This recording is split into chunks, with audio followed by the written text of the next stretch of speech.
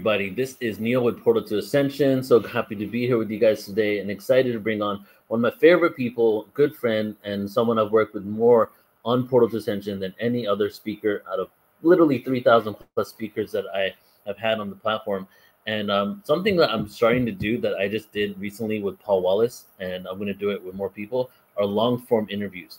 So this isn't going to be long form in its entirety, but we're going to clip this into three different segments two or three segments and launch it out because I realized after doing this interview with Paul, like the amount of depth of awareness that we get into to go into specific topics is just incredible. So there's certain people that I want to do this with, and Laura's one of them because when Laura speaks, there is um each a lot of times in one sentence, there's a couple of words there that require a presentation on its own. So I'm hoping today that we can uh, have that opportunity to speak about it and then dissect some of these terms to really go deeper to understand this on a fundamental level, right? So we're going to bring Laura on in a minute here. And I just want to share that we're doing a few things with Laura this year. Well, of course, she's going to be at Glastonbury, ascensionglastonbury.com. But the two things that we want to share uh, quite substantially on the streams that we're doing here today is one, Laura Eisenhower has a webinar coming up in July 20th called Awaken the Truth Frequency, which is named after her book. And uh, I'll show you the screen share when we bring Laura on. And then the other thing is she will also be a presenter on our cruise. This is galacticorigins.cruise.com, galacticorigins.cruise.com. And I'll show you the trailer right now before we bring Laura on. And if you sign up, go ahead and sign up under Laura. And uh, at the end of the stream today, I'll go ahead and explain the cruise a little bit more. But basically, seven days leaving from Orlando, Florida, going to Honduras, Belize, Yucatan, four different excursions, seven days, 23 plus speakers, musicians on the Celebrity Equinox luxury cruise liner, where we get to go to these beautiful ancient sites that literally are actually the sites that I visited the most in my life um, that I feel a close resonance to the Mayan Peninsula. While we're exploring galactic origins, while we're doing transformative workshops together, and having a vacation at the same time. So it's going to be incredible. GalacticOriginsCruise.com. And here is the trailer.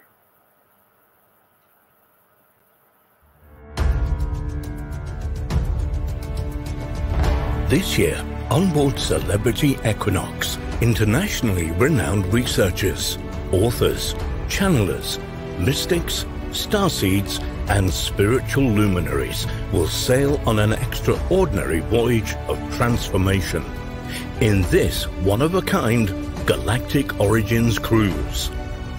Voyage into the ancient Mayan land. Explore the latest cosmic revelations. Learn about our galactic heritage. Rediscover the hidden wisdom and Earth's true history as presented by our stellar guest speakers and teachers hailed from around the world. Exclusive offerings include engaging lectures, workshops, special events, one-on-one sessions, sacred fire ceremony, live music performances, custom tailored excursions. And if that's not enough, how about celebrating winter solstice on December the 21st, 2024 with an extraordinary world peace meditation guided by guest speakers and teachers? Secure your participation now. With limited packages available, this is your chance to embark on a once-in-a-lifetime journey of discovery and transformation unlike any other. Reserve your place today before it's too late.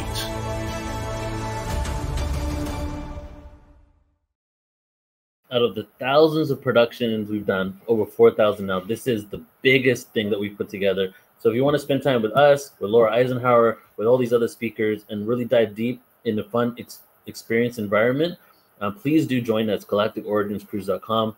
Again, when you sign up, go ahead and put Laura Eisenhower's name um, upon sign up.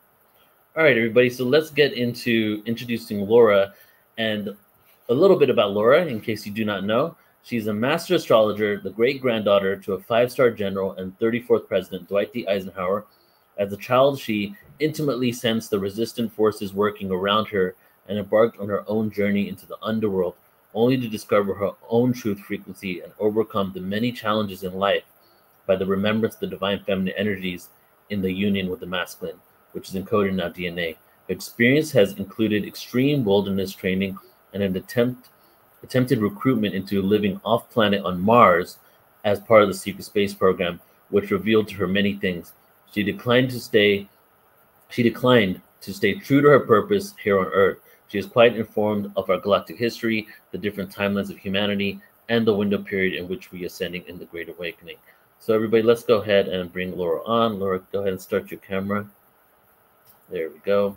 Hey, Laura, welcome. You're muted. There we go. Good to be here. Good Thanks for having me. Thank you for being here, Laura. And firstly, I, I want to get into your book, and I'm really excited that you have this book out because I think over the last few years, I've even mentioned a couple times you need to write a book, and I know you probably were thinking, I need to write a book, and when is it going to happen? You know, and so this is a huge milestone for you that after all this work that you've put in, that you got to a point where you've accumulated so much of your awareness into this book. So, love for you just to speak about first of all your your excitement for launching it and then what is what is this book about and what kind of journey have you been on in order to you know what you're conveying in this new book Awesome. Thank you so much. Yeah, I mean, it's been a long time coming. I've been working on it for probably more than a decade. Before I was a public speaker, I knew that what I was going through and what was going on in my life needed to be known or told. Even if nobody read it, I just needed to get it out. Um, I was sort of journaling a lot and just writing a lot of this down. Before I was a public speaker, I was starting to pull it together with a friend of mine who's no longer really a friend. So, um, and I'll leave that out. a long story, but was, you know, kind of a part of all of this process. And it didn't come together. It was get coming together, but it just didn't come together. It, it could have really been out maybe in 2011, 2012. And because I had to pull it back together, it's taken a lot longer. And I think the timing has been for a lot of reasons because I was able to accumulate a lot more information and, connect a lot more dots in order to understand more of what's going on. Um, and that has been a really important theme my whole life, like this mission, right? So my book is about this. And and the title Awakening the Truth Frequency wasn't the original title.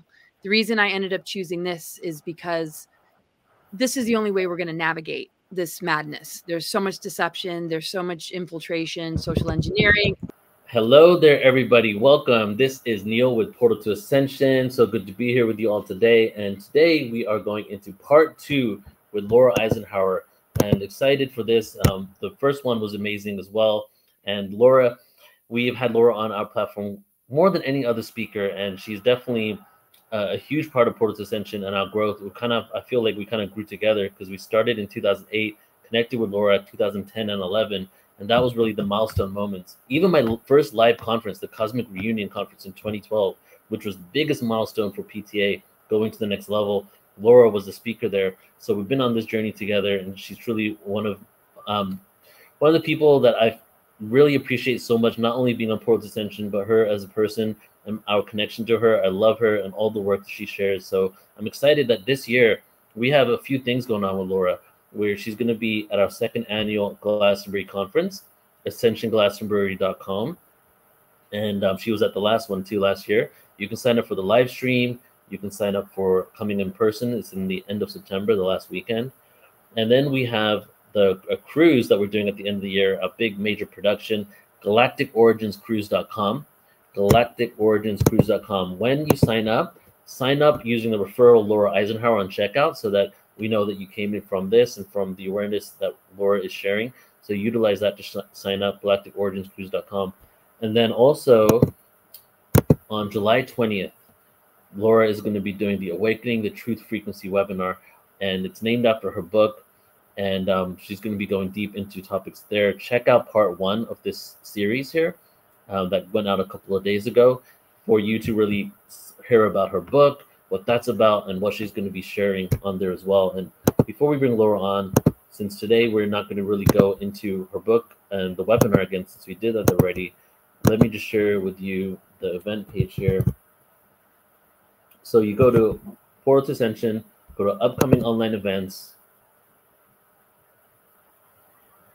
and then you just scroll over to the first one, July 20th. So it's the next event we got coming up. Laura Eisenhower, Awakening Truth Frequency.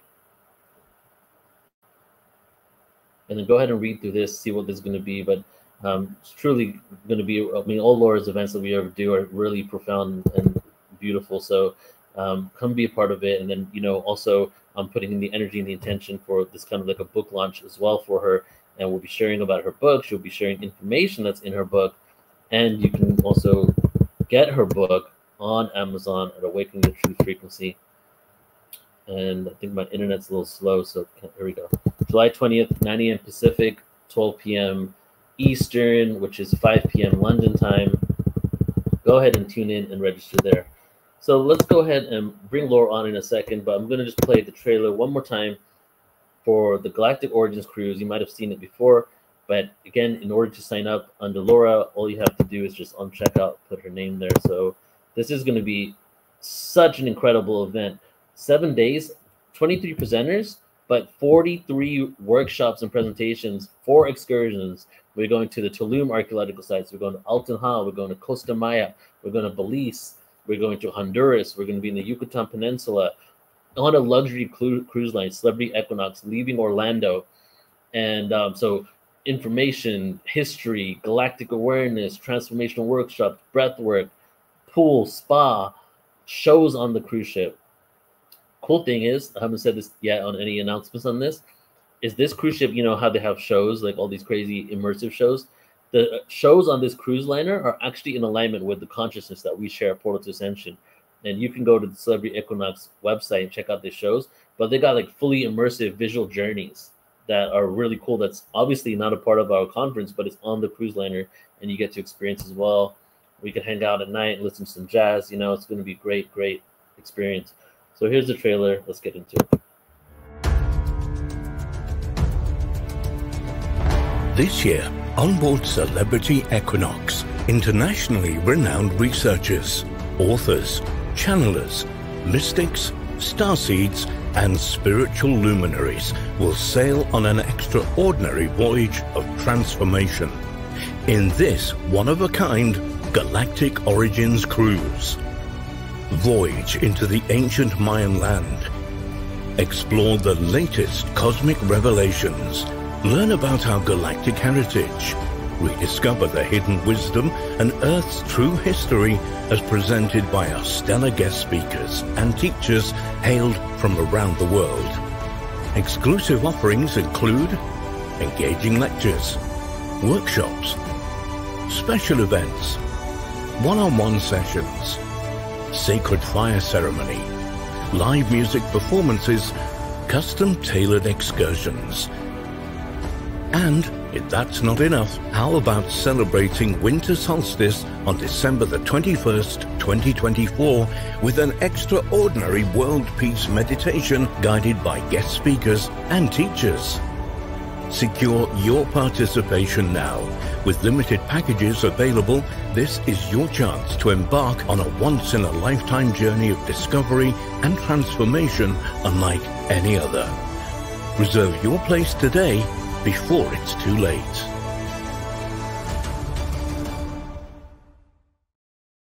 I'm beyond excited for that cruise, everybody. So again, galacticoriginscruise.com, sign up with Laura Eisenhower. And I'm not going to do an intro for Laura today because I've done that before because this is part two. So let's go ahead and just bring Laura on, shall we? And we'll first talk about the cruise here. Hey, Laura, welcome back. Hey, Neil. Good to be here. Good to see you. So, a love for you. Maybe we can just start with you, you speaking about the cruise and what you feel about it, your excitement about it. And I don't know, do you know what you're presenting on the cruise as well? I I don't have the presentation pulled together. I I did put the descriptions down, so it's definitely on the website. Mm-hmm. And I just don't have it off the top of my head. I know I'm going to go deep into some uh, some uh, new information that I haven't brought forward yet. Uh, actually, mm-hmm. there's there's always new stuff coming in. Um, I'm feeling so good about this cruise. This is a part of the world that I've always wanted to go to, and oh my gosh, the excursions are going to be incredible. Just the energy of being on the ocean. I, I know you already mentioned the Bermuda Triangle, and mm-hmm. getting to know all the other speakers and just all the sessions that are going to be happening and the different vendors and i mean it's yeah. just like wow to be in the same space for seven days you know yeah on an adventure I, there's nothing like it. It's really quite seriously. yeah because like you go to conferences you go to workshops and there's so much going on you don't really get to chill. Even if it's like a three day or four day conference you're still just going from experience to experience to experience. So having seven days with not only a lot of awareness but in an environment where we can chill out and relax you know what i mean because a lot of us we are on the go all the time you know so it would be a cool experience where we actually get to build bonds with everybody that that's going to be there. Oh yeah, and soaking up mm-hmm. just the beauty of nature and these incredible ancient sites. Yeah, can't wait to be with those sites with you. Yeah, yeah, can't wait to see Uh huh. So your your presentation is these navigating these times astrologies astrology cosmic consciousness and inner soul growth so yep. Anybody wants to come galacticoriginscruise.com on checkout, use Laura Eisenhower's referral. All right, so let's get in it for today. Um, I would love to start out with, and I realized um, I've never really had a conversation with you about Mars. We just went into like galactic history and all of that. So I'd love for you to start out with maybe some of that story. And first question is, I guess the intro question is, is there an off colony civilization, a breakaway civilization on Mars? Well, apparently so, because I was recruited to go to it. I haven't been there. Um, and it's funny a lot of people uh, who have heard of me haven't really delved into my work who i mean who haven't really delved into my work might confuse me for somebody that did a 20 in back there and no that's mm-hmm. not the mm-hmm. case i was pre-targeted though to go to mars with uh, the target date being 2012 and this connects somehow to alternative three scenario that was um, proposed to the eisenhower administration and it's considered a fictional story. There's been documentaries about it, um, but it, it's nothing that anybody has really taken seriously. But this is something that was presented along with, of course, alternatives one and two, and I'll just tell you a little bit about that. Alternative one focused on using nuclear devices to blast holes in the stratosphere where heat and pollution could escape into space Alternative two aimed to build a network of underground cities and tunnels where mankind's selected elite could survive. Along these lines, Phil Schneider mentioned that 131 deep underground military bases exist in the US, 4,000 worldwide. Alternative three dealt with the secret space colonization program on Mars for the same purpose as Alternative two, which played into my experience with a failed attempted recruitment. This experience was the gestalt that compelled me to create and claim my desired timeline scenario, Alternative four, which is based on the organic ascension timeline and the power of the human spirit triumphing over controller forces that already exist and is what I've always felt prepared for. So, um, and that's what I desire. And that's what we deep down all desire. We don't need some outer authority to tell us, um, you know, what the future holds. And, and we're constantly being bombarded with it, but it's done in sections, right? So when people talk about the first wave, well, is there going to be a second wave, a third wave, where you know there is you know this Agenda 2030 and different rollouts of events that take place to you know engineer this timeline. You know, we think of 9/11 or all these particular events that take place that are leading us down this course where um, these trigger events and fear tactics are uh, kind of hooking us into this potential uh apocalyptic you know scenario or new world order whatever you want to call it. So um alternative 3 had to do with in light of this being the trajectory that they want to take humanity down compromising the surface humans in whatever way uh these are the ones that we're facing but was there something different um along the way? Well it's sort of like when they pull out plan a b c d e there's already there's always like something that they'll come together and decide okay this is our next um uh this is this will be our next uh attempt to try and sabotage the human race. How many different cards they're going to play and which ones they play i don't know. They have a deck and there are reasons behind maybe the ones that they choose. But i really feel eisenhower's administration and you know the proposed alternatives have a lot to do with um, maybe how this has shifted. And we're getting something a little bit different than would have been if the alternative three scenario was more alive and and more something that was taking place. It's not to say that that alternative is gone because there are colonies on mars and there's activity on mars. People have done 20 and backs and things like that.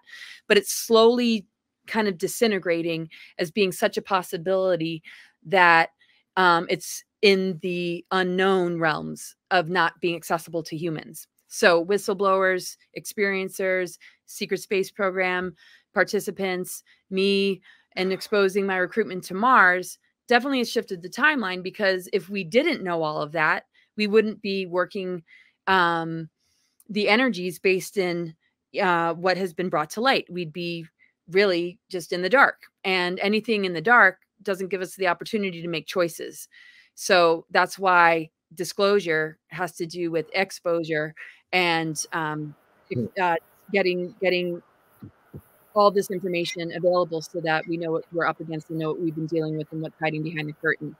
So this alternative three scenario, um, supposedly in Eisenhower's administration, I've been told by more than one remote viewer, and when I worked with different psychics, it's become a common theme that I helped in Eisenhower's administration with the Venusians to warn him about the Greys and about some things that he ended up being blamed for and to help him uh, and that administration set up some things as a counteraction to uh, the ICC Nazi Draco Alliance agenda. Um, that being the Earth Alliance, the White Hats, and Ike's Force, and and also his connection with a group of star beings that spoke about a migration of souls coming in that would be